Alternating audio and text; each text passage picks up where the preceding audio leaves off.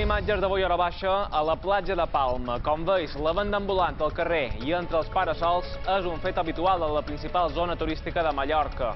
Avui, precisament, administracions, comerciants i policies s'han reunit per fer un front comú contra aquesta pràctica.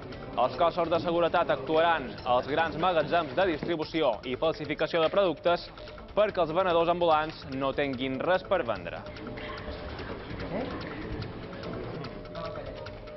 Bon vespre. Un error o un malentès del govern estatal. Així interpreta el conseller Balear de Medi Ambient la decisió de declarar inconstitucional la proposició de llei contra les prospeccions petrolíferes a la Mediterrània. Segons l'Estat, el Parlament Balear no té competències per fer-ho.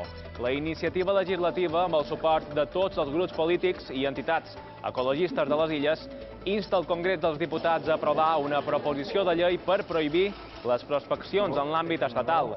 Per tant, segons Vicenç Vidal, no es vulnera cap competència nacional. El conseller creu que el govern de Rajoy no ha entès aquest matís. I una mesura que enfronta en aquest cas el govern de l'Estat i el Tribunal Constitucional és l'amnistia fiscal impulsada per Cristóbal Montoro l'any 2012. La norma que va permetre a centenars de persones que havien defraudat la hisenda pública regularitzar la seva situació es va aprovar mitjançant un decret llei que ara es considera inconstitucional. S'anula, per tant, l'aplicació del decret, però no les regularitzacions posteriors a les quals s'acolliren, entre d'altres, Luis Bárcenas i la família Pujol. I aquestes són imatges de la darrera operació contra el frau fiscal a Espanya. L'agència tributària ha escorcollat més de 60 negocis de capital xinès, dos d'aquests a Palma. Se'ls acusa de declarar uns beneficis 20 vegades inferiors al que realment guanyaven.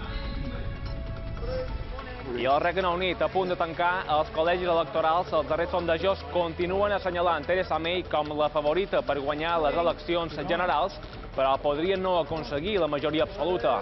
El laborista Jeremy Corbyn ha anat escurçant distància en uns comicis immersos en un fort dispositiu policial. I avui veurem i escoltarem les dues cares d'un fotoperiodista enamorat de la música i també enamorat de la vida. Miquel Massotí relata en el seu darrer disc, L'arbre dels penjats, la seva recuperació després d'un accident de moto el 2013. L'exguitarrista de Rock Empress, grup format per periodistes, ha comptat amb col·laboracions de grans noms de la música balear.